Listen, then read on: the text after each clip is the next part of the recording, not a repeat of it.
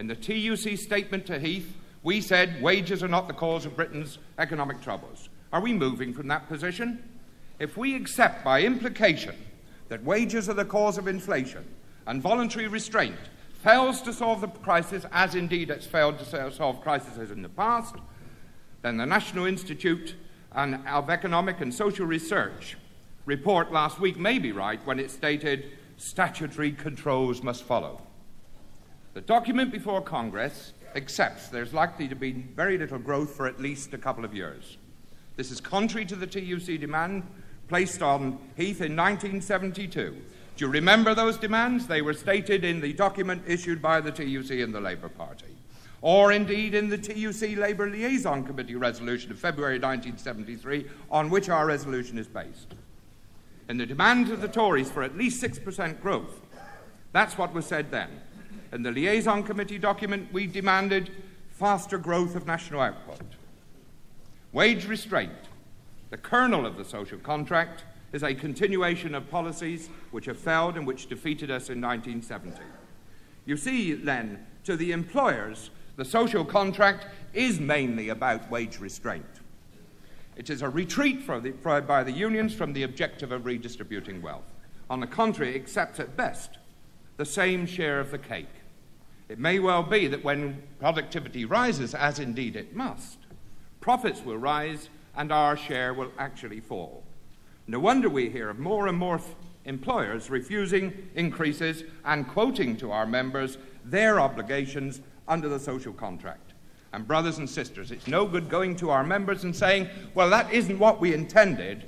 Our members will blame us. We find it impossible to vote for a policy which accepts implicitly a lowering standard of living for our members. It doesn't only create disillusion and confusion. They will ask who we are supposed to represent. Neither should we vote for policies which we believe only apply to other people and not for us because we're a special case.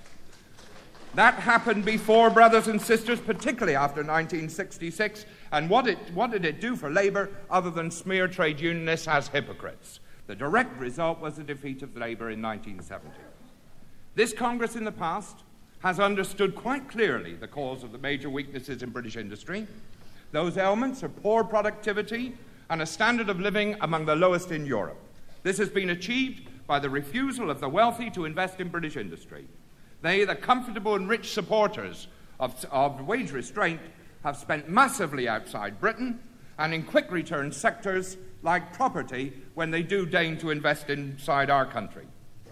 Low wages will, as they always have done, encourage a continuing low investment policy. That is an economic fact of life. Our country's decline wasn't caused by our members, by members of the trade union movement. Neither was it caused by high wages. And our members won't see why the plans of expansion that was passed by this Congress, pressed by this Congress on the Tories in 1972 and 1973, shouldn't be pursued by Labour with the consequent rising of standards for our people. We know where the employers stand on this issue. Their selfish, anti British prejudices have never had any limit. The latest example of their blind partiality is expressed by the Engineering Employers Federation in their recent economic review when they talk of a possible drying up of investment where if the Labour government doesn't abandon its plans for nationalisation and industrial democracy. How responsible is that?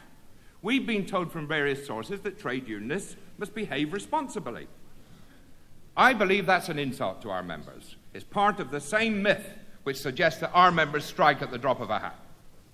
It's a measure of how responsible trade unions have been that any comparison of our members' wages and conditions with other industrialized countries nowadays shows our members to be worse off. We've been much too responsible, and I'm sure that Lawrence Daly would join me in that in saying that the miners are a classic example of past responsibility to phony policies, and they've corrected it over recent times in a way that we all understand.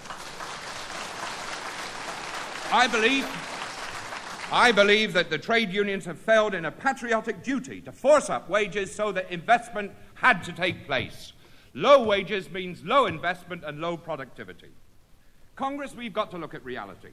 We don't help a Labour government by not getting a rise at Ford's or GEC. The millions saved by those companies are not handed to Harrow to boost old age pensions. Neither is there a guarantee that the dividends will boost our national output by the purchase of any new plant. They could just as easily be invested in Fords of Germany or GEC South Africa. A final point.